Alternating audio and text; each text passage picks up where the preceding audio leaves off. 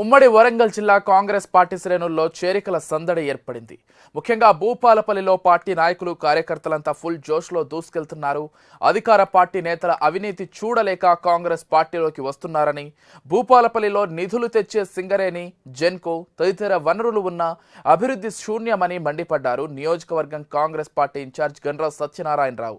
నెల రోజుల కిందట కురిసిన భారీ వర్షాలకు భూపాలపల్లి జిల్లాలో కల్వట్టు రోడ్లన్నీ దెబ్బతింటే ప్రజలను ఆదుకోవాల్సిన ఎమ్మెల్యే కాంట్రాక్టు పనులతో కోట్లాది రూపాయలు కుమారుడికి దోచిపెట్టడంలో తనమునకలైన ఘనత ఎమ్మెల్యేదని ఆరోపించారు. సింగరేణి ఎన్నికలు జరగకుండా ప్రభుత్వం కుట్ర చేస్తోందన్నారు.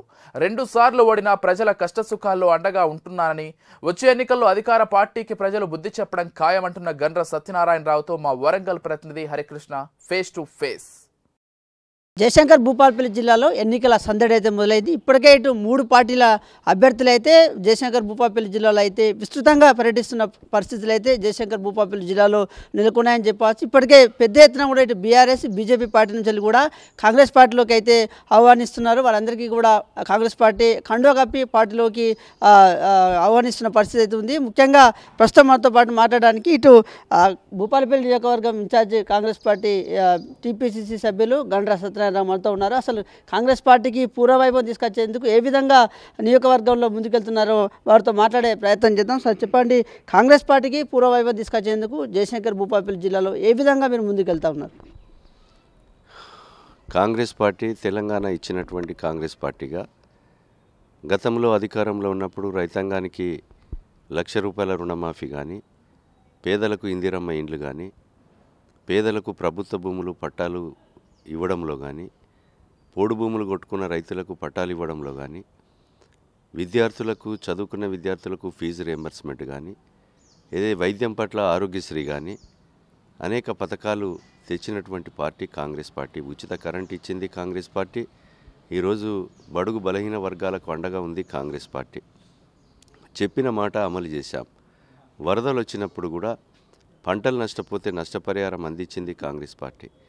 ఈరోజు ఇసుక మేటలు పెట్టినా ఏదైతే అకాల వర్షాలతో దెబ్బతిన్న పంటలకు కూడా నష్టపరిహారం అందించింది కాంగ్రెస్ పార్టీ. నేడు కోరి కొట్లాడి తెచ్చుకున్న తెలంగాణలో తొమ్మిది సంవత్సరాల నుంచి పద్దెనిమిది పంటలు సంచికి మూడు నాలుగు కిలోలు కింటన్కి పది కిలోలు దోసుకుంటుంటే పద్దెనిమిది పంటలు. ఈరోజు ఈ రాష్ట్ర ముఖ్యమంత్రి కానీ మంత్రులు ఎమ్మెల్యేలు అత అసలు చీమ కుట్టినట్టుగా కూడా లేదు. దోసుకున్నోని పక్షాన ఉన్నారు. రైతాంగాన్ని నిలువు దోపిడీ చేసి వాళ్ళ రక్తం దాగుతూ ఉన్నారు. కనుక రైతులు తొమ్మిదిన్నర సంవత్సరాలు దశాబ్ది ఉత్సవాలు పూర్తి చేసుకొని లక్ష రూపాయల రుణమాఫీ చేస్తా అని చేయలేదు ఇంటికో ఉద్యోగం ఇవ్వలేదు పేదలకు డబుల్ బెడ్రూమ్ ఇల్లు కట్టేయలేదు ఫీజు రెంబర్స్మెంట్ ఇవ్వడం లేదు. మరి అనేక పథకాలు మొత్తం కూడా చెప్పిన మాట దళితులకు మూడు ఎకరాల భూమి ఇస్తా అని ఇవ్వలేదు. మొత్తం కూడా ఫెయిల్యూర్ అయి ప్రభుత్వం మీద వ్యతిరేకత ఉంది. ఎమ్మెల్యేలు అందిన కాటికి దోసుకోవడం పేదల భూములు కాజేయడం ప్రభుత్వ భూములు కాజేయడం ఎమ్మెల్యేలే ఈ రాష్ట్రంలో ముఖ్యమంత్రులుగా వ్యవహరించి పోలీసులను అడ్డం పెట్టుకొని ఈరోజు విచ్చలవిడిగా వ్యవహారం చేస్తూ ఉన్నారు.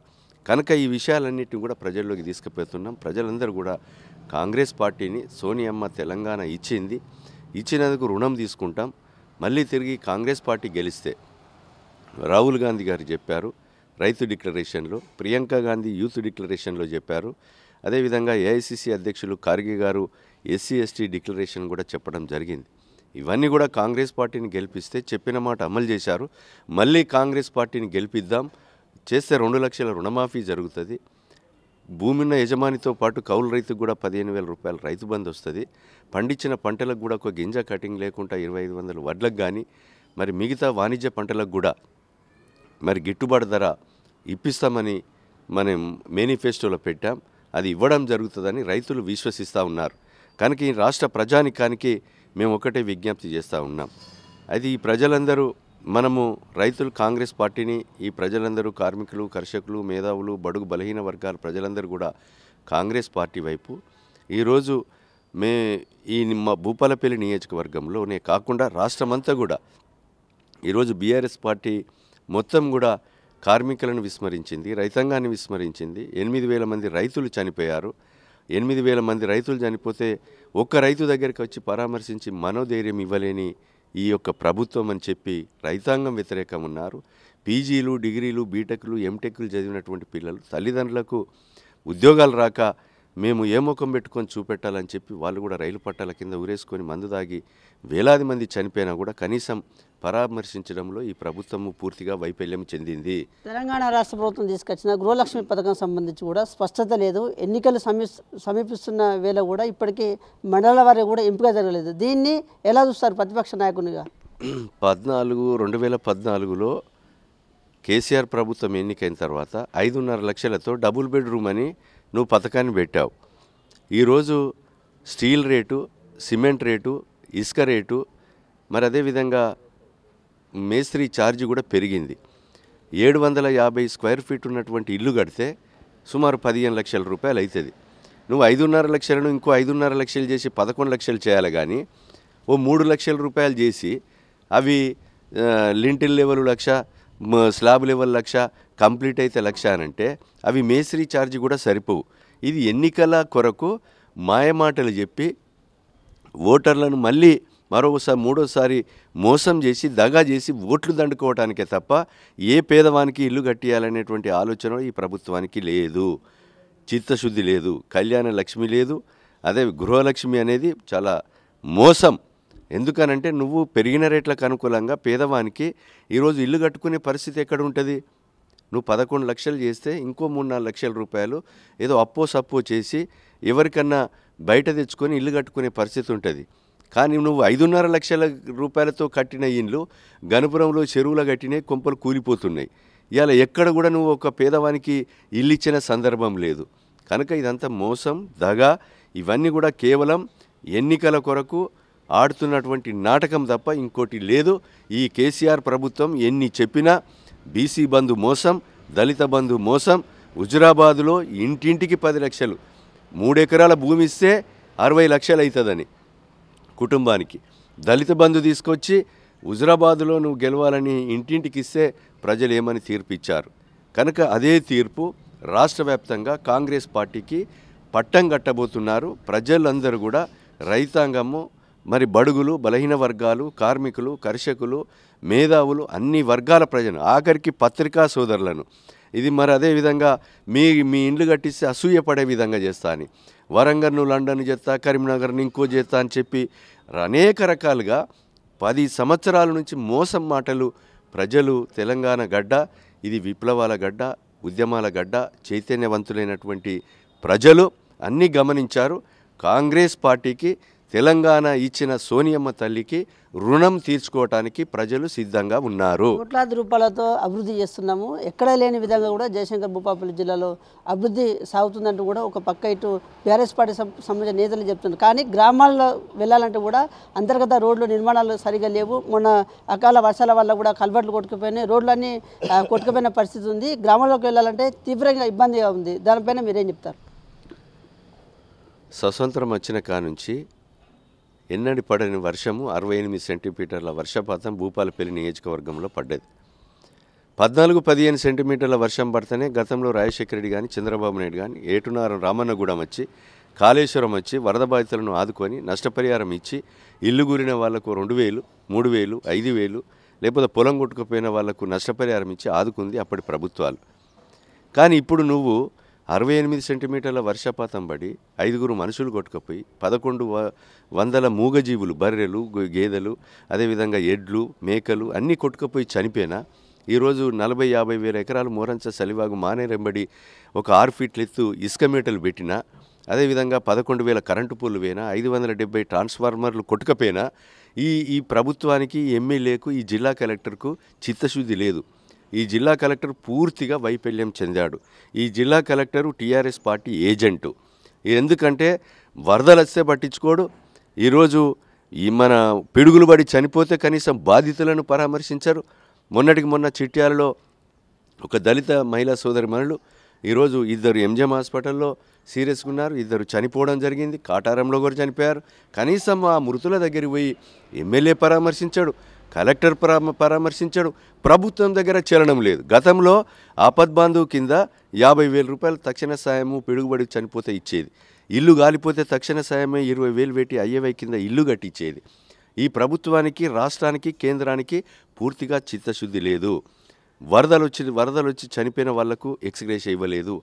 పంటలు నష్టపోతే పరిహారం నష్టపరిహారం ఇవ్వలేదు. గేదె చేస్తే గేదె ఇస్తామన్నారు మేక చేస్తే మేక ఇస్తామన్నారు ఏది కూడా లేదు. కనుక ఆఖరికి సింగరేణి కార్మికులు యాభై ఐదు వేల ఆరు వందల మంది యాభై ఆరు లక్షల రూపాయలు మేము ఇంటి మనిషికి వెయ్యి రూపాయలు ఇస్తామని చెప్పి ఈరోజు జమ చేసిన పైసలు జీఎం దగ్గర ఉంటే కలెక్టర్ ఖాతాలు వేసుకొని ఆ డబ్బులను కూడా పంచే పరిస్థితి ఈ జిల్లా కలెక్టర్ దగ్గర లేదు. కనుక ఏ రకంగా వ్యవహరిస్తున్నారో ఒక్కసారి మనం ఆలోచన చేయాలి. కనుక మేము ఒకటే కాంగ్రెస్ పార్టీ అధికారంలోకి వస్తే ఈ తెలంగాణ రాష్ట్రం కొరకు నాలుగు కోట్ల ప్రజల ఆకాంక్షను తీర్చింది కాంగ్రెస్ పార్టీ. పన్నెండు వందల మంది అమరులయ్యారు. వారి కుటుంబాలకు ఒకరికి ఉద్యోగం ఇస్తూ తండ్రి లేక తల్లికి ఇరవై ఐదు వేల పెన్షన్ ఇస్తూ అదేవిధంగా నిరుద్యోగ యువతకు కూడా రెండు లక్షల ఖాళీ ఉద్యోగాలను నింపడం. నిరుద్యోగ యువతకు కూడా నిరుద్యోగ భృతి మూడు వేల పదహారులు ఇస్తాను కేసీఆర్ ప్రభుత్వం ఇవ్వలే. మేము నిరుద్యోగ భృతి నెలకు నాలుగు వేల రూపాయలు ఉద్యోగాలు వచ్చేంత వరకు భృతి ఇస్తాం. నాలుగు వేల రూపాయలు మరి భర్తలు కోల్పోయిన వితంతువులకు వృద్ధులకు నాలుగు వేల రూపాయల పెన్షను వికలాంగులకు ఐదు వేల రూపాయల పెన్షను. అంతేకాకుండా ఈరోజు పన్నెండవ తరగతి ఇంటర్మీడియట్ నుంచి పీజీ వరకు చదివేటువంటి మహిళ మరి సోదరి విద్యార్థులందరికీ కూడా స్కూటీని మరి ప్రభుత్వ పరంగా అందించడం. మహిళా సోదరి మనులందరికీ కూడా ఈరోజు రాష్ట్ర వ్యాప్తంగా ఎక్కడ తిరిగినా ఉచిత బస్ బస్సు ఇచ్చి ఉచిత బస్సు ప్రయాణము చేయడం. అంతేకాకుండా ఈరోజు దళితులు గిరిజనులకు పద్దెనిమిది శాతం రిజర్వేషన్ పన్నెండు శాతము గిరిజనులకు ఇచ్చి ఈరోజు పదో తరగతి పాస్ అయినటువంటి వాళ్ళకి పద పదివేల రూపాయలు ఇంటర్మీడియట్ డిగ్రీ చదివిన వాళ్ళకి ఇరవై ఐదు వేల రూపాయలు పీజీ చదివిన వారికి ఐదు వేల రూపాయలు ప్రోత్సాహంగా ఇచ్చి ఇతర దేశాలకు పోయేటువంటి దళిత గిరిజన విద్యార్థులకు కూడా రా మూడు కార్పొరేషన్లు ఏర్పాటు చేసి ఆర్థికంగా వాళ్ళను ఇతర దేశాలకు పంపించి ప్రోత్సాహాన్ని అందించడం పన్నెండు లక్షల రూపాయలతో అంబేద్కర్ మరి పథకాన్ని పెట్టి పన్నెండు లక్షల రూపాయలు. అర్హులైనటువంటి మరి పేద దళిత గిరిజనులకు కూడా పన్నెండు లక్షల రూపాయలు విద్యార్థులకు ఇచ్చి ఆదుకోవడం కాంగ్రెస్ పార్టీ గెలిస్తే మరి ఇవ్వబోతున్నాం. కాంగ్రెస్ పార్టీ మేనిఫెస్టోను ప్రజలు విశ్వసిస్తున్నారు నమ్ముతున్నారు. కనుక ఈరోజు మరి ప్రజలందరూ కూడా నేను ఒకటే విజ్ఞప్తి చేస్తున్నాం. భూపాలపల్లి నియోజకవర్గంలో మరి ఎమ్మెల్యే రమణారెడ్డి ఒక వ్యాపారుడు ఈరోజు ఆయన భార్య జిల్లా పరిషత్ చైర్మన్గా ఈరోజు మొన్న వరదలు వచ్చి కొట్టుకపోతే ఆయన యొక్క టిప్పర్లతోని ఆయన కంపెనీతోని మొత్తం కూడా రోడ్లు పోస్తున్నాడు కుంటలు పోస్తున్నాడు చెరువులు పోస్తున్నాడు. నూట ఇరవై నాలుగు చెరువులు తిరిగినాయి. ఒక్క చెరువు కూడా రింగుబండ వేయలేదు. ఈరోజు వరదలు వచ్చి కొట్టకపోతే ముప్పై ఐదు కోట్లతోని చెక్ డ్యాములతోని ఒక గ్రూప్ చేసి ఆయన కొడుకు కంపెనీకి ఇచ్చుకోవడం. బీటీ రోడ్లు కూడా ఒక బీటీ ప్లాంట్ కొని ఆయన కొడుకు కంపెనీకి ఇచ్చుకోవడం. ఈరోజు వరదలు వస్తే ఐదు వందల కోట్లు నువ్వు ముఖ్యమంత్రి ప్రకటిస్తే నీ ఎమ్మెల్యేల జేబులు నింపుతున్నాయి తప్ప పేదవాడు చనిపోతే ఆర్థిక సాయం ఇవ్వలేదు పొలం కొట్టుకపోతే ఇవ్వలేదు మేకలు చచ్చిపోతే ఇవ్వలే ఎద్దులు చచ్చిపోతే ఇవ్వలే ఈరోజు మనుషులు చనిపోతే ఇవ్వలేదు. మరి ఇండ్లు నీట మునిగినటువంటి ఇండ్లు కూడా ఎంపేడు కానీ అదేవిధంగా కుందనపల్లి గుమ్మడవెల్లి వెంకట్రావుపల్లె ద్వారకపేట బోర్నపల్లి వెంకటేశ్వరపల్లె మోరంచపల్లితో పాటు నీట మునిగినటువంటి ఇండ్లను కూడా కనీసం కట్టుబట్టలతోని బయటకు వస్తే వాళ్ళని ఈరోజు ఈ ప్రభుత్వము నయా పైసా ఇవ్వకుండా దుర్మార్గమైనటువంటి ఆలోచనలో ఉన్నారు. లక్షల కోట్లు సంపాదించుకొని ఓట్లు వచ్చినప్పుడు ఓటుకు ఐదు వేలు ఇస్తాం కుల సంఘాలను కొని మహిళా సంఘాలను కొని ఓట్లు దండుకొని మళ్ళా మూడోసారి అధికారంలోకి రావడానికి ఈ కేసీఆర్ ప్రభుత్వంలో ఉన్నటువంటి ఎమ్మెల్యేలు రమణారెడ్డి కుటుంబం కూడా ఓటేయించుకొని వ్యాపారాన్ని పెంచుకొని ఆస్తులు పెంచుకోవడమే చూస్తున్నారు తప్ప వాళ్ళకు చిత్తశుద్ధి లేదు లేదని సందర్భంగా గుర్తు చేస్తా ఉన్నారు. మరి చివరిగా ఇటు భూపాపల్లి నియోజకవర్గంలో కూడా సింగరేణి కార్మికులకు అనేక సమస్యలతో అయితే సతమతం అవుతున్నారు. వాళ్ళకి ఇస్తాన అలవెన్స్ కూడా ఇవ్వకుండా వారు జరుగుతున్న ఎన్నికలను కూడా అడ్డుకున్న పరిస్థితి అయితే ఉంది. సింగరేణి ఎన్నికలు ఎందుకు జరపడం లేదు తెలంగాణ రాష్ట్ర ప్రభుత్వం? ఈ సింగరేణి కార్మికులను అన్ని రంగాలుగా దగా చేసింది మోసం చేసింది కేసీఆర్ ప్రభుత్వం. కేంద్ర ప్రభుత్వం కూడా నూట ఇరవై ఎనిమిది కార్మిక సంఘాలను ఈరోజు మనం అప్పటి ఉన్నటువంటి ఇందిరాగాంధీ ప్రభుత్వ కార్మిక సంఘాలుగా చేసింది. ఇప్పుడున్నటువంటి మోడీ కేసీఆర్ ఇద్దరు ఒకటై కార్మికుల హక్కులను కాలరాస్తూ ఈరోజు బిఎస్ఎన్ఎల్ని ఎల్ఐసిని రైల్వేని సింగరేణిని మొత్తం కూడా తాడిచెర్లలో ఉన్నటువంటి ఓసీని కూడా ప్రైవేట్ పరం చేసి ఒక ఆదాని అంబానీ చేతిలో పెట్టి రైతులు పండించిన పంటలను కూడా ఆదాని చెప్పిన రేటుకే మీరు ఈ యొక్క కొనుగోలు చేయాలనేటువంటి కార్మికుల హక్కులను కాలరాస్తా ఉన్నారు కేసీఆర్ మోడీ ప్రభుత్వం. వాళ్ళకు ఈ ఎన్నికలు కార్మికుల ఎన్నికలు పెట్టే చిత్తశుద్ధి లేదు. పెడితే మాకు రాజకీయంగా సమాధి కడతారు కార్మికులు అనేది వాళ్ళకు తెలుసు. ఈ తెలంగాణ రాష్ట్రం కొరకు కూడా ముప్పై ఆరు రోజులు సకల సనుల సమ్మె చేసి రాష్ట్రం కేంద్రం దిగొచ్చేదాకా కొట్లాడినటువంటి వీర పోరులు కార్మికులు. కనుక నేను కార్మిక సోదరులు నేడు భూపాలపల్లిలో సింగరేణి హాస్పిటల్ ఉంది. అట్లా ఒక ఐదు హాస్పిటల్స్ ఉన్నాయి. ఆ ఐదు హాస్పిటల్లో ప్రభుత్వం కాదు అక్కడ కార్డియా డిపార్ట్మెంట్ లేదు. పక్షపాతం వస్తే యూరాలజీ డాక్టర్ లేడు న్యూరో డాక్టర్ లేడు అదేవిధంగా ఎవడన్నా కాలిపోతే ప్లాస్టిక్ సర్జరీ లేడు ఎవరన్నా ఇక్కడ హార్ట్ అటాక్ వచ్చినోడు గోదావరి కనిగిపో హైదరాబాద్ పో అని రాస్తూ ఉంటారు. హార్ట్ అటాక్ వచ్చినోడు వందలాది మంది కార్మికులు ఆ ప్రాంత ప్రజలు చనిపోవడం జరిగింది. గతంలో ఇప్పుడున్న రెండు వేల తొమ్మిదిలో చీఫ్ విప్గా ఉండి ఇప్పుడు పద్దెనిమిదిలో నేను అధికార పార్టీకి పోయి కాంగ్రెస్లో గెలిచి చేతి గుర్తు మీద గెలిచి అధికార పార్టీలకు పోయి అభివృద్ధి కొరకు పోయినా అని చెప్తున్నావు. కనీసం ఈ ఎమ్మెల్యేకు చిత్తశుద్ధి లేదు. కొత్తగూడెం సీఎంఓ ద్వారా ఖాళీగా ఉన్నటువంటి వైద్య పోస్టులు నింపలేని దద్దమ్మ ఈరోజు నేనేమో గొప్పలు చెప్పుకుంటా అని చెప్తా ఉన్నారు. కనుక నేను ఒకటే కోరుతున్నా సింగరేణి కార్మికులను హక్కులను కాలరాస్తా ఉన్నారు. కార్మిక సోదరులందరూ కూడా ఈరోజు లాభాల్లో వాటా కల్పించింది గత ప్రభుత్వం. ఈరోజు కార్మికుల హక్కులను కాపాడింది కాంగ్రెస్ ప్రభుత్వం. ఇప్పుడు మళ్ళీ కాంగ్రెస్ తెలంగాణ ఇచ్చినటువంటి సోనియమ్మ తల్లికి కాంగ్రెస్ పార్టీకి అండగా ఉందాం. కార్మికుల హక్కులను కాపాడుతుంది. కార్మికులందరూ కూడా ఈరోజు సన్నద్ధమవుతున్నారు. కార్మికులనే కాదు రైతులనే కాదు నిరుద్యోగ యువతలను అన్ని వర్గాల ప్రజలను కూడా మోసం చేసింది కేసీఆర్ మోడీ ప్రభుత్వాలు. కనుక ఈ రెండు ప్రభుత్వాలను పాతాల లోకంలో పాతరబెట్టడానికి ప్రజలు సన్నద్ధమవుతా ఉన్నారు. దానికి మేధావులు కవులు కళాకారులు అన్ని వర్గాల ప్రజలకు కూడా మేము విజ్ఞప్తి చేస్తున్నాం. నేను కూడా విద్యార్థి దశ నుంచి పంతొమ్మిది వందల ఎనభై నుంచి నేటి వరకు ఈ నియోజకవర్గ ప్రజల కష్టాలే వృత్తి వ్యాపారంగా ఎంచుకొని పనిచేస్తున్నాం. రేపు ఎమ్మెల్యేగా గెలిపించినా ఏ స్థాయిలో ఉంచినా మట్టిలో కలిసేదాకా మేము ఈ నియోజకవర్గ రైతాంగము కార్మికుల యువత పేద వర్గాల కష్టాలే వ్యాపారంగా ఎంచుకొని పనిచేసే వ్యక్తిని. నియోజకవర్గ ప్రజలకు అదేవిధంగా రాష్ట్ర ప్రజానికానికి నేను విజ్ఞప్తి చేస్తున్నా. భూపాలపల్లి నియోజకవర్గ ప్రజానికి ముఖ్యంగా నేను రెండుసార్లు ఓటమి చెందిన నిరుత్సాహపడకుండా డబ్బాలు మరి రిజల్ట్ వచ్చిన తెల్లారి నుంచి రైతాంగం పక్షాన కొట్లాడినాం పోడు భూముల పక్షాన పాదయాత్ర చేశాం అదేవిధంగా కార్మికుల పక్షాన హాస్పిటల్లో ఖాళీగా ఉన్నటువంటి వైద్య పోస్టులు నింపాలని దీక్షలు చేశాం అదేవిధంగా మరి ఖనిజ సంపద ఈరోజు ఇసుక తయారవుతున్నది బొగ్గు తయారవుతున్నది కరెంటు తయారు ఉత్పత్తి అవుతున్నది. సుమారు పదివేల కోట్లు వస్తున్నాయి. అందులో ఐదు వందల కోట్ల రూపాయలు ఈరోజు మన భూపాలపల్లి నియోజకవర్గంలో డ్రైనేజ్ కానీ కుంటలు కానీ చెరువులు కానీ హాస్పిటల్లో పేదవాళ్ళకు మందులు కానీ డాక్టర్ల ఖాళీలు నింపడమని మరి చట్టం చెప్తా ఉంటే ఆ ఐదు వందల కోట్ల రూపాయలు మంత్రులు ఎత్తుకపోతుంటే గెలిచినటువంటి ఎమ్మెల్యేలు మరి దద్దమ్మ లెక్క మా వ్యాపారాలు సల్లంగా ఉంటే చాలు అనేది చెప్పి ఈరోజు ఖనిజ సంపదను దోపిడీ చేస్తున్నారు. నన్ను గెలిపించిన వెంటనే ఖనిజ సంపదను కాపాడుతా దోపిడీ జరగకుండా చూస్తా ఈరోజు ఇసుక బొగ్గు అదేవిధంగా కరెంటు ద్వారా వచ్చేటువంటి డిఎంఎఫ్టీ మిగులు నిధులు ఒక్క రూపాయి కూడా బయటికి పోకుండా నియోజకవర్గంలోనే రోడ్ల సౌకర్యం కానీ డ్రైనేజ్ కానీ హాస్పిటల్లో ఖాళీగా ఉన్న వైద్య పోస్టులు కానీ అదేవిధంగా మందులు కానీ మరి ఇవన్నీ కూడా పేదవాళ్ళకు చికిత్స అందే విధంగా మేము ఇక్కడ ఉన్నటువంటి మరి ఖనిజ సంపదను కాపాడుతూ ఈ నియోజకవర్గ ప్రజలే మా వ్యాపారంగా ఎంచుకునే విధంగా పనిచేస్తారని సందర్భంగా తెలియజేస్తూ మీరు ఓటును అమ్ముకోవద్దు. ఓటు అనేది మీ ఆయుధం. ఆ ఆయుధాన్ని ఓటు రూపకంగా దోపిడీదారులను అవినీతి పరులను వ్యాపారాలు పెంచుకునే దొంగలకు అవకాశం ఇవ్వద్దని నియోజకవర్గాల ప్రజ నియోజకవర్గంలో ఉన్నటువంటి ఓటర్లకు ప్రజలకు పార్టీలకు అతీతంగా ఒక్కసారి నన్ను దీవించండి అని విజ్ఞప్తి చేస్తా ఉన్నాను. మొత్తంగా కూడా ఏదైతే భూపాపల్లి నియోజకవర్గంలో అయితే అభివృద్ధి శూన్యమని చెప్తున్నారు ఏదైతే తెలంగాణ రా- రాష్ట్ర ప్రభుత్వం ఇటు ప్రతిష్టాత్మకంగా చేపట్టిన గృహలక్ష్య పథకం కూడా ఇటు ఎన్నికల స్టంటు మాత్రమే ఇటు ప్రజలను మోసం చేసేందుకు మాత్రమే అంటూ కూడా మండిపడుతున్నారు. ఇటు భూపాలపల్లిలో ఇప్పటికే ఇటు భూ కబ్జాలు ఎక్కువైపోయినాయి అంటున్నారు.